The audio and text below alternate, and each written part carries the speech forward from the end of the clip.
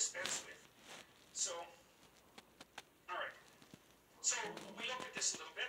Um, the Trinitarian idea is that there's a there's a, a father. Uh, that's maybe the the the, uh, the dramatic representation of the structures that underlie consciousness, the embodied structures that underlie consciousness, and then there's the Son, and that's that that's consciousness, but in its particular historical form. That's the thing that's so interesting about the figure of the Son.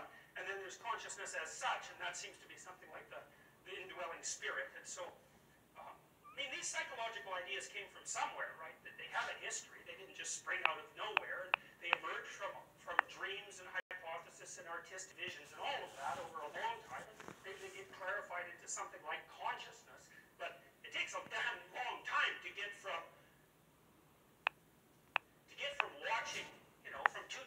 species watching each other to a human being saying, well, we all, we all exhibit this